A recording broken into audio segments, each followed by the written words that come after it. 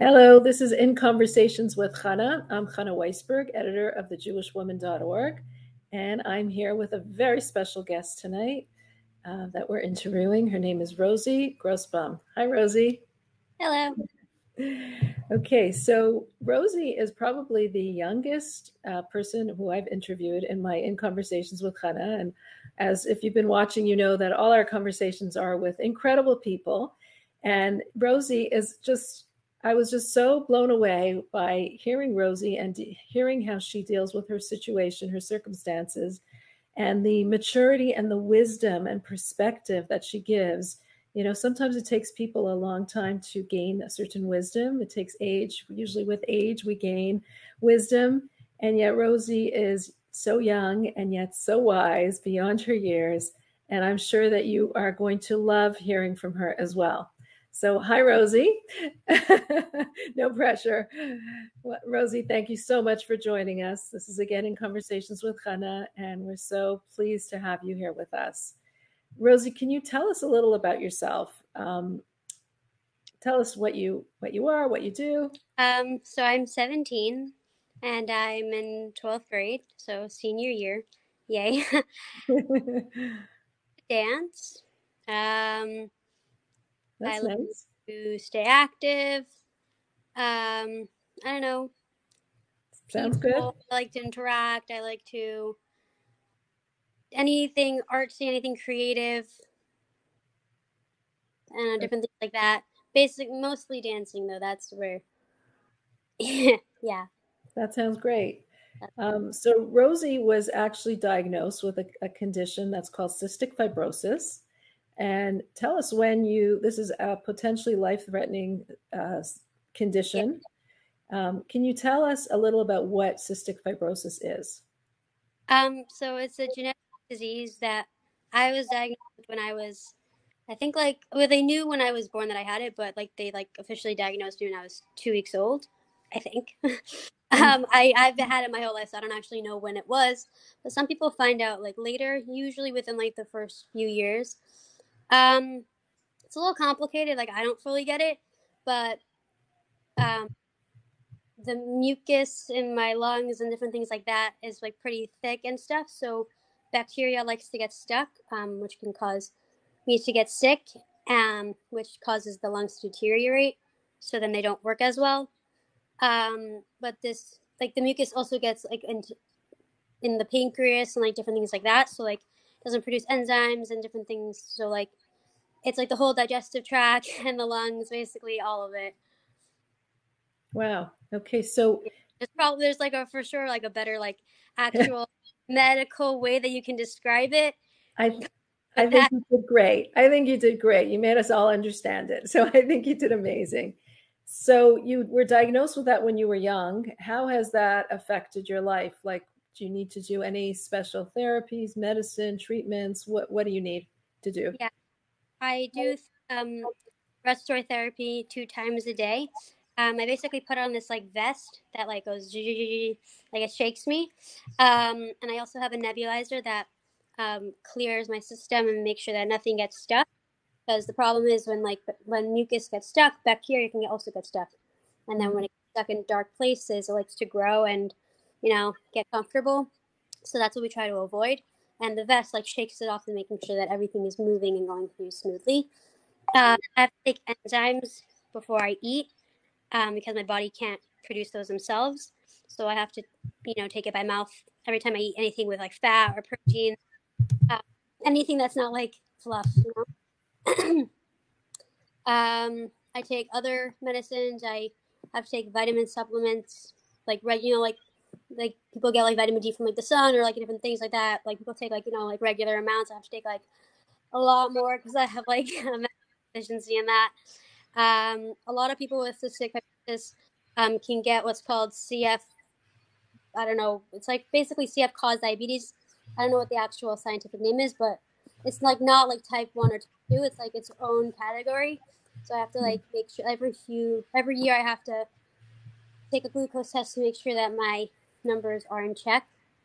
Hmm. Um, they actually recently came out with a new medicine called Trikafta. It used to be that there weren't really any cures or anything to keep cystic fibrosis in check. So a lot of people would pass away really young. Uh, most people wouldn't make it into adulthood, but now they're making massive strides to, you know, helping people live longer and healthier. So this is a that medicine was a really big breakthrough. Um, That's amazing. Yeah, it like slows down the progression of the symptoms. I mean, it doesn't like obviously it doesn't like cure it, but it helps keep things under control for the most part. Mm-hmm. Tries. Wow. Know. Wow. Do you know anyone who passed away when they were young? Like, were any any people yeah. who you? How did how did that make you feel? Um, I didn't know them so personally, but it was like, whoa! Like I saw them in person. like, right. Wow. Um, but it you nowadays people like you know live a lot longer mm-hmm. um, than like you know 20 and 30 but i i don't know they were I guess in like a really um interesting situation. It was they were going through a really tough time. They had it like they were always in the hospital and like always like coming down with different things and uh, yeah they were like very very young like 22 or like wow.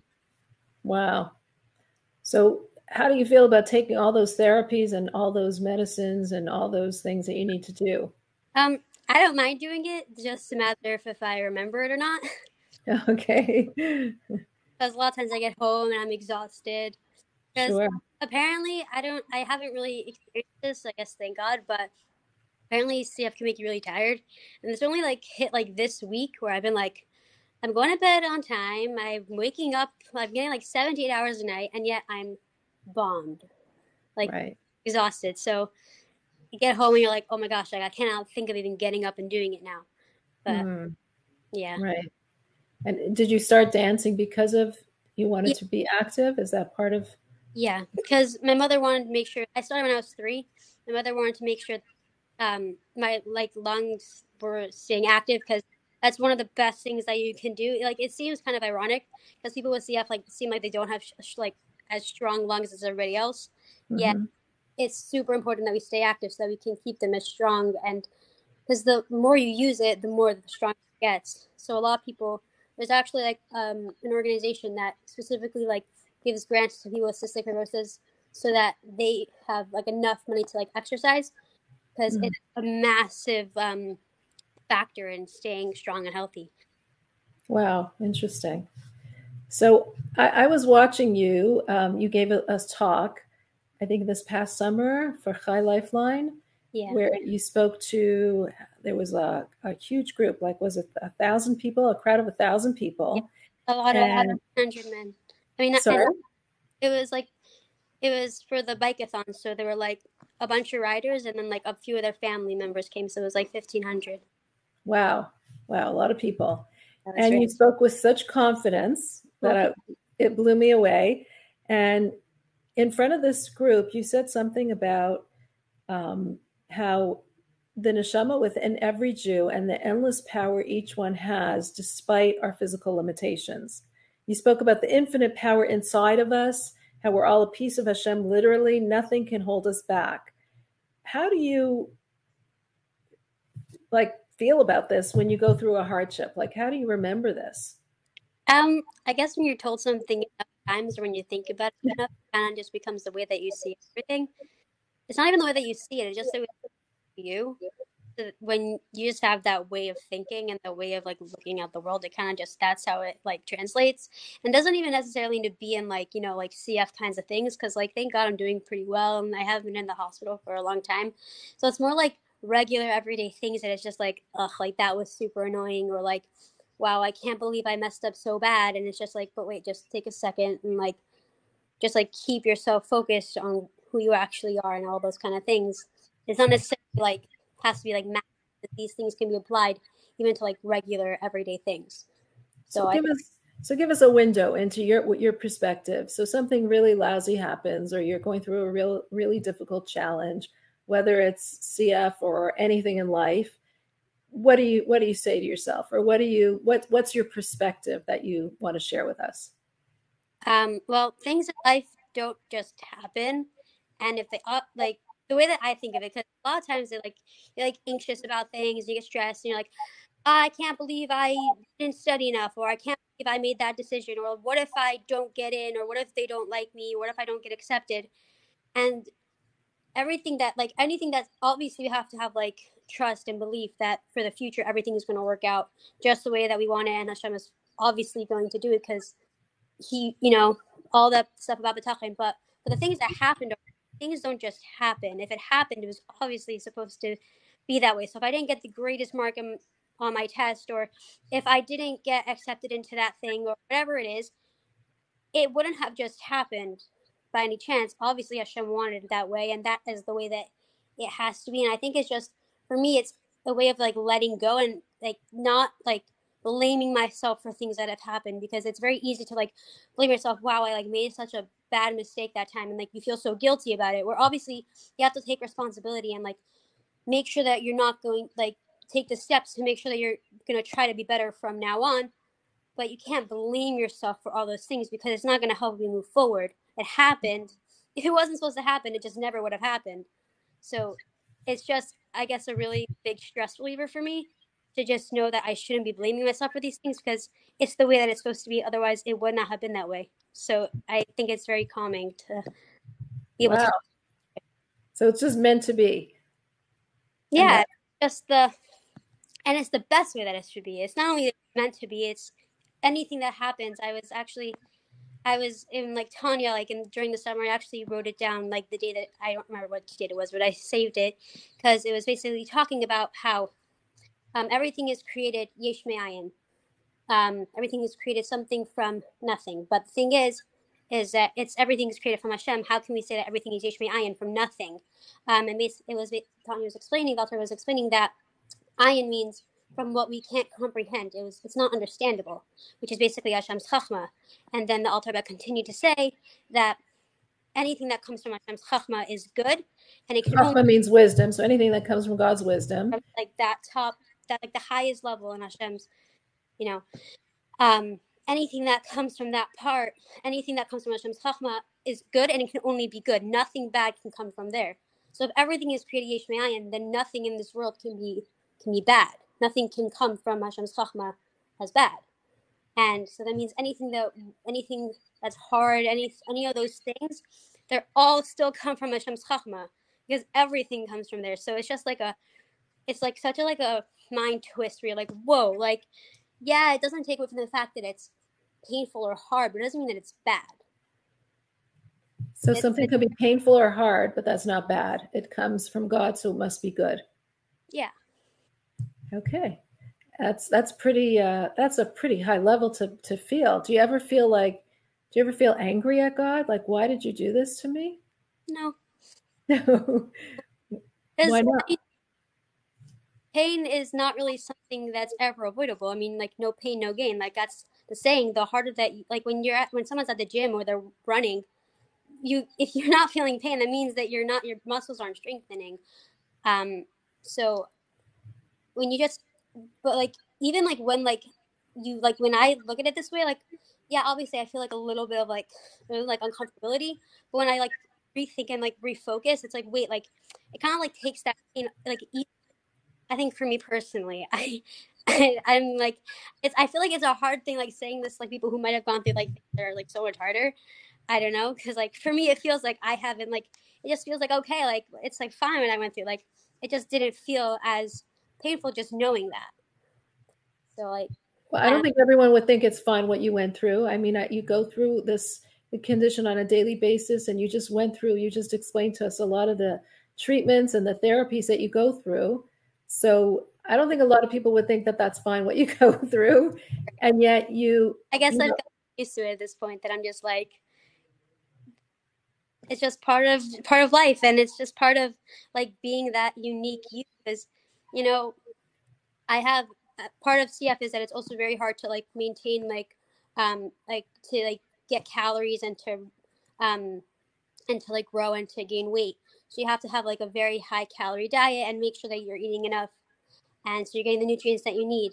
And they always monitor your weight to make sure that you're like staying steady because um one of the signs of like not good lung function and an infection is weight loss that you just no matter how much you eat you just still losing weight because your body's fighting so hard to like fight off those infections so as a kid and and now i had a feeding tube so that i can get extra nutrients And like as a kid, like when I, I would go to ballet and wear the like leotard, and I'm like, "What's that?" And the ballet teacher's like, "You can't ask her that." And I used to like not like it. I always wanted it out, and I didn't want it.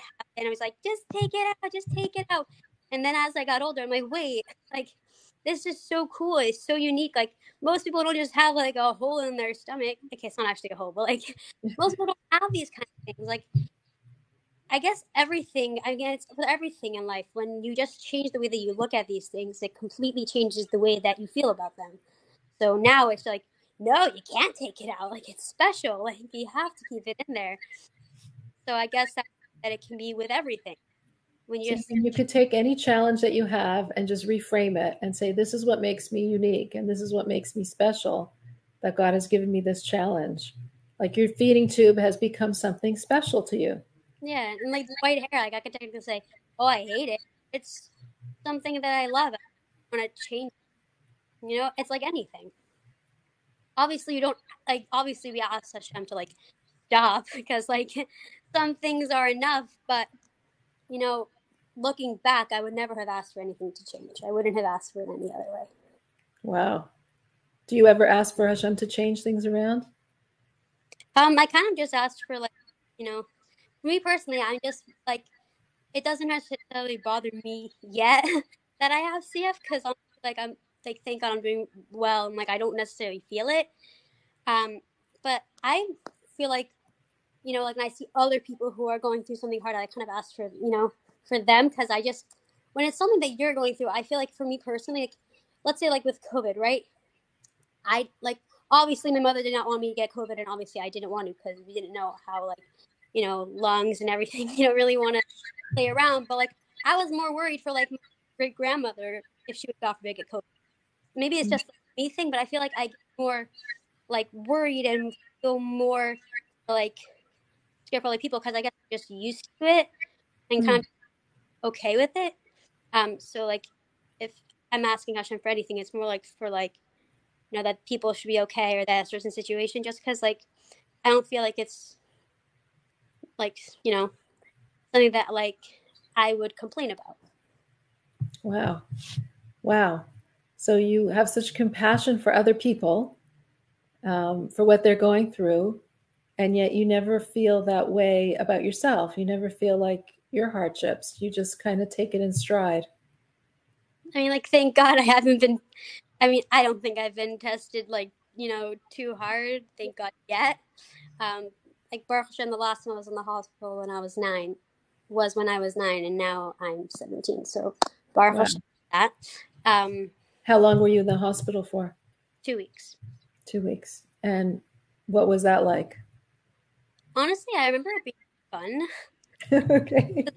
really good job entertaining me, but at the same time, I do remember them coming in to like take blood work or something, and I remember like, but before asking asking my mother, if the time before that was going to be the last time they were coming to take blood work. And my mother's like, yeah, for sure, last time. And they came back in. I'm like, but you said they weren't going to come in again. Oh, like, even though I have like very fond memories of like them making it fun and, and like because like that's they have like special jobs for that now, like making sure that the kids, you know, are entertained and they have people visiting them and they have like you know things for them to do so it just makes the experience a lot more pleasant. But there, I, I, even though I don't remember it so well, there were for sure times where I was like, I don't like this.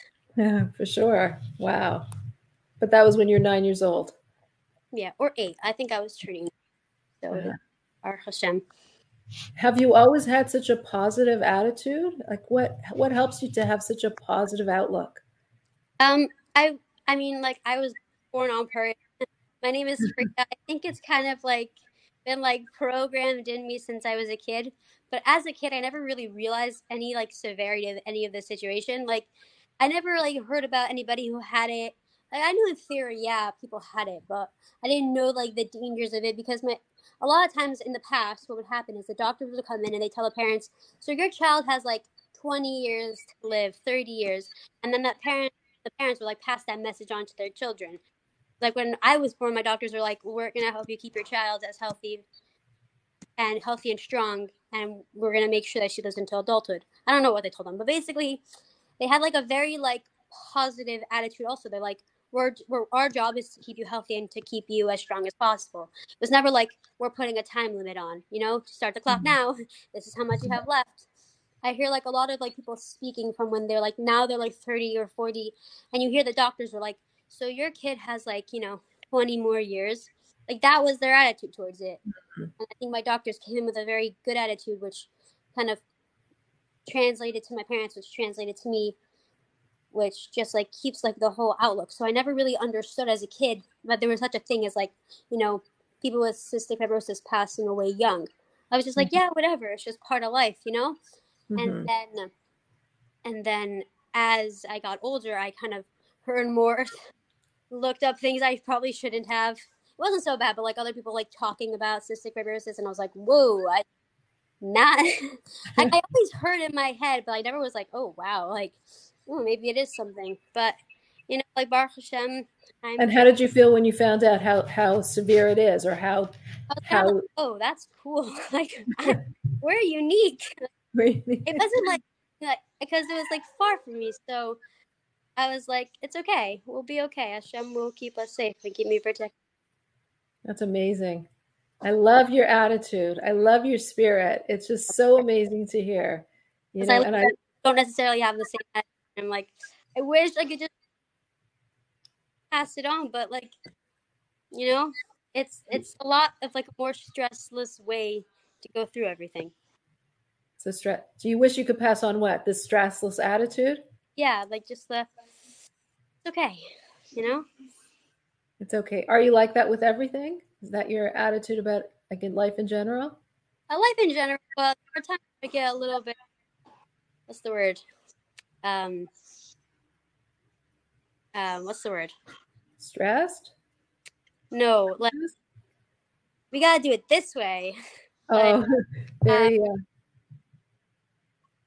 not convincing, but I like to. Um, you like to do things. I'm sorry for a second.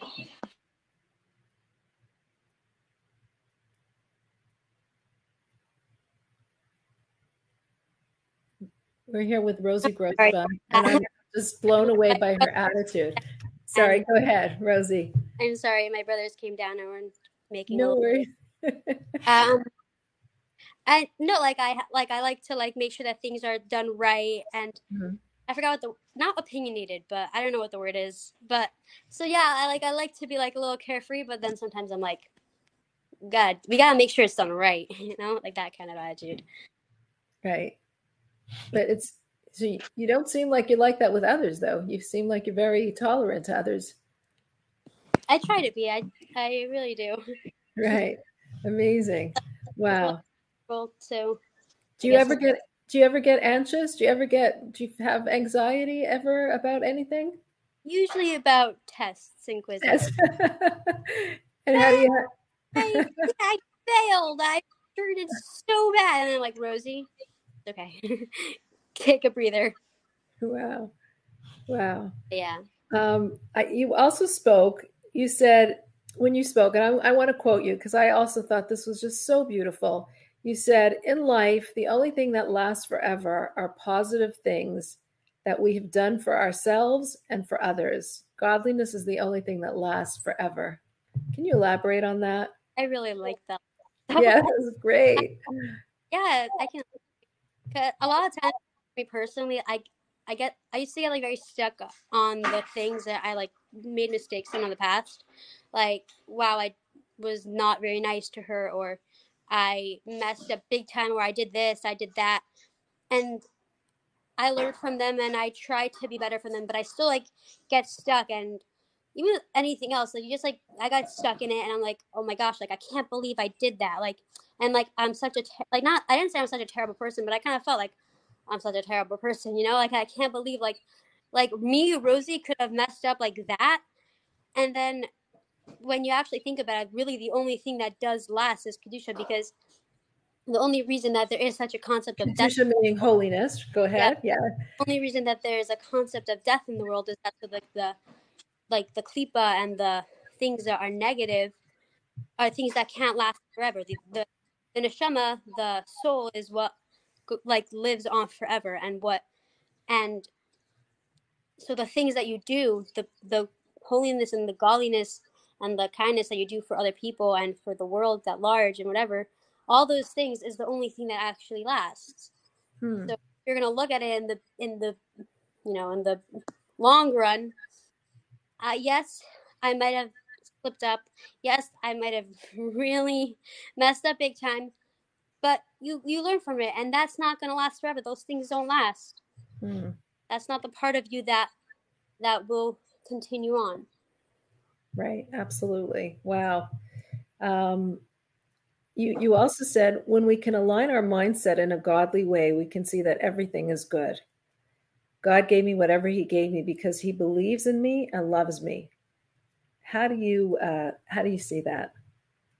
I think it's kind of i i was before is that it's just when you when you take all these things that you learn so many girls in my class and so many girls in school they're like yeah but how do you make it practical? And i always want to sit them down and say guys the only way it's ever going to be practical is for you to find a way yourself. A teacher can't tell you nobody can tell you how you can make it practical because the way that it's going to affect your life is the only only you can figure that out.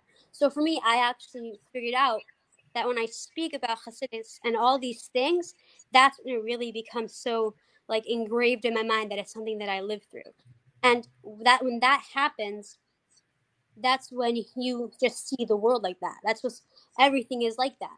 So anything that happens like as we were saying before you just see it in that way through that light. And everything kind of just falls into place when you can see it that way. So it's been hasidic teachings has been formulating your your perspective on life. Is that what you're saying? 100% 100% Wow. And that's what's given you such a positive outlook and such an outlook that everything is is for the good. Yeah, for sure. What's your favorite Hasidic teaching, or idea, or thought? Sure, I like to like mix it because I mean, the first of all, the concept in Movade that there's nothing but Hashem is just massive because that means that every person that you meet, anything that happens, is all just the one Hashem. It's all just Hashem, which means it's absolute goodness. So even if there are people who rub you the wrong way or things that happen, those are all still just complete goodness. Just sometimes we just can't see it that way because they're from such a high source. So that itself is just like boom, just like realize that everything is just the one Hashem. And then the fact that everything happens, the Hashgacha Pratis, that everything happens by like Hashem's specific guidance and watch is also just incredible because things don't just happen to you because, oh, Hashem was spacing out and boom, now this person is sick, God forbid. Or, you know, that I got CF or that I did this or that I got that on my test or you know that I got this pair of shoes like things like that don't just happen so it's just incredible to like obviously have to take responsibility for the actions that we might have not you know you know things that we have to grow from but you just look back it's just you know? Just the it's all it's everything which is also all divine providence it's all from god. Which i guess goes intertwined with Ein Od Milvado, that there's nothing but him. It's just because even when we do slip up, just to like look at it that way, as we're all still a piece of Hashem, like that mistake, that thing doesn't take away from that fact, which is so cool. I think. and I think that's amazing. Look at you, you also don't see yourself as lim- limited because you you said something about having that soul, and when you have a soul, it's it's unlimited. Yeah, you know, when you have this- feel held back by all those things that they can and can't do, like you know, like say I I I don't know. I I I don't have an example, but you know, everybody feels like held back by things that they can and can't do. And just to realize that you're much more things that are trying to stop you. You just have you can just like raise above it and just raise beyond it and become such a special and amazing person regardless of those like you have you use your abilities and your talents to be able to just go higher and higher. Because hmm. the thing you can't do is not what matters. It's what you can do and add to the world that is so powerful. Wow. and you can do that with your unique self because of your your challenges. You look at yourself as very unique rather than challenged. Yeah for sure. Like that feeding tube. It's it's like wow it's unique right? Yeah. that's what you said. Imagine life without it. Like what would be it would just be a plain old stomach. Wow. Wow rosie any any any th- thoughts on what your plans are for the future or any dreams or hopes that you wish you have um, I, a lot of people ask that. Where are you going to seminary? What do you do as a job? And I'm like, I have absolutely no clue. wow. But I want to, you know, make an impact. I want, you know, leave like, you know, an imprint. Um, an imprint on this world. But I first have to think of really innovative idea before I can go do that. You know, I don't know how some of these people, you know, like like Khan Academy. Like, who thought we're gonna take every single subject and then we're gonna explain every single subject. Now, every single kid with any question can come and boom, learn it right there. Who thought of that? like, that is a massive idea, and it's oh. changed the like face of everything.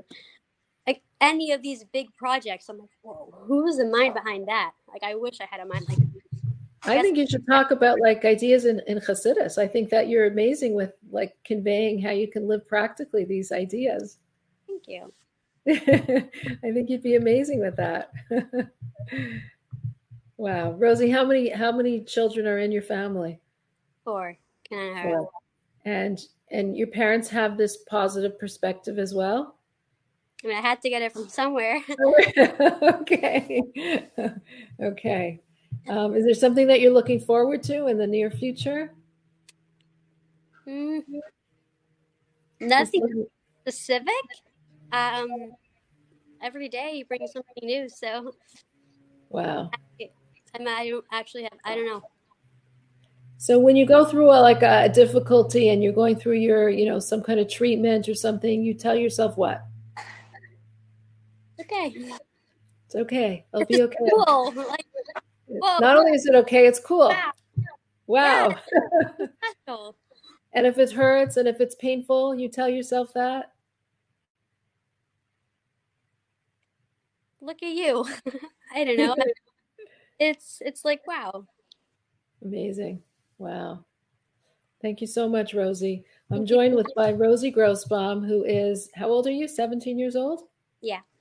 And Rosie, I can't wait to interview you in another, I don't know how many years, because the wisdom that you have at a seven as a 17 year old is incredible. And I think that you have so much to share with the world on how to look at things, how to look at how to find perspective, how to look at life and the maturity that you give to uh, to us today is really can be life changing. Your perspective is unbelievable. I just wish that you stay healthy and well and continue growing in all ways. And um, really, uh, thank you so much for joining us tonight and for sharing your perspective. I think it's a perspective that all of us can um, can try to do.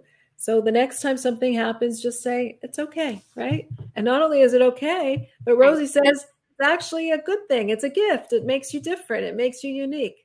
I love that. The entire time. He doesn't. He doesn't leave. He doesn't have other places to go. This is where he is specifically because wow. he wants you. So. And if God wants you, then God is good. It's everything that does, God does is good, so it's got to be good. And even if it feels painful, then it's still. Still, still Hashem. Still God. Okay. It's like the story of like the father and the boy, and they're walking on the beach and they see the footprints, and all of a sudden there's only one. And the little boy's like, "Where did he go? Like, how did look? The father left." And he's like, "No, the father is carrying him on his shoulders." Right, and you feel God carrying you on His shoulders. Oh yeah. Oh yeah. Wow. Thank you so much for joining us, Rosie. Good, good luck with the next test. Stay healthy and well, and keep up that amazing spirit and perspective on life. Thank you. Thank you so much.